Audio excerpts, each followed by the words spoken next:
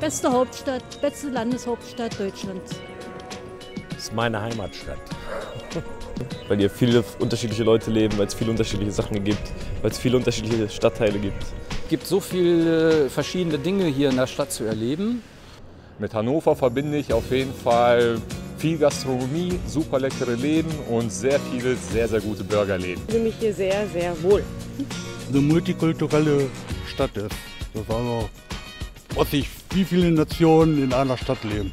Die Atmosphäre, ja, die Leute sind cool. So eine Stadt, die eigentlich mein ganzes Leben lang unterschätzt wurde, weil ich bin gebürtige Hannoveranerin, habe auch fast immer hier gelebt und habe immer das Gefühl gehabt, dass Hannover stark unterschätzt wird. Ich habe immer gerne hier gelebt und ich habe es auch angenehm gefunden, hier zu leben.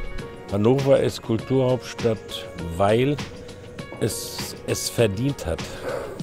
Viel Grün.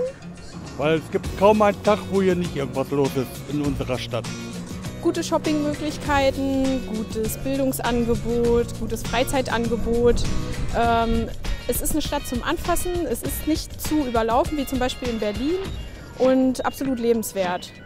Weil es einfach die geilste Stadt wirklich in Deutschland, vielleicht sogar auf der ganzen Welt ist. Weil es hier viel zu sehen gibt, viel zu erleben gibt. Hannover ist Kulturhauptstadt 2025, weil es hier einfach richtig cool zur Sache geht und weil es hier viel zu entdecken gibt. Genau. Hannover ist Kulturhauptstadt 2025, weil wir die schönsten Orte in ganz Deutschland haben.